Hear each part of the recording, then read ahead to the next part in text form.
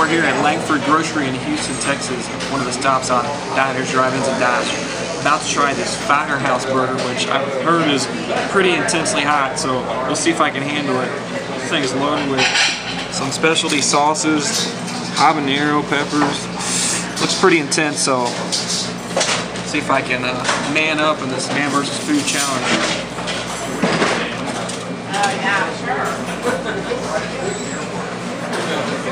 Oh, that's delightful burger. Right away, you taste the pepper you saw on the pickle. I'm starting to feel the burn. It's pretty hot. Yeah, trust me. Waitress even suggested just sticking with water. It's starting to get to my throat. Oh man. We're down to the last couple bites, but I'm telling you, this man versus food challenge. I don't know if I can conquer it or not. It's not the spice. I'm so freaking full.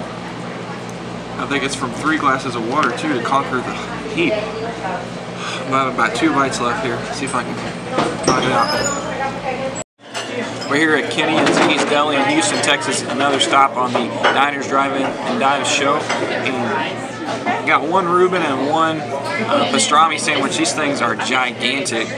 I'm not sure how I'm going to get my mouth around this. I thought the burger from uh, Lankford's was big. Holy cow. Check this mug out. That's no playing around right there. Well, time to get to work.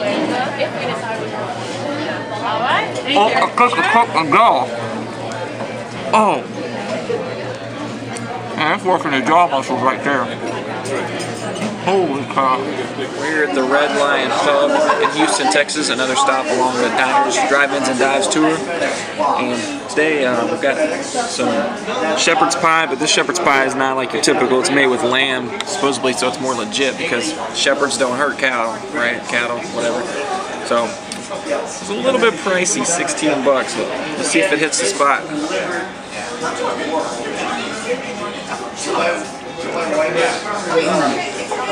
Oh yeah. Good hearty stuff right there.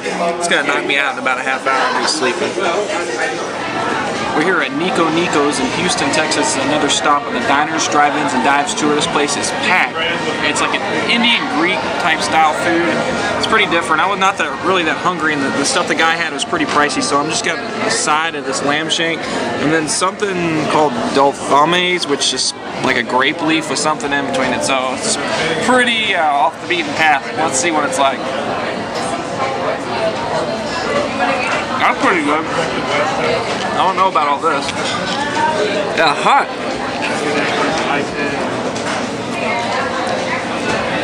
Tastes like a leaf.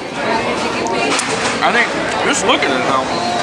Look at that. What is that?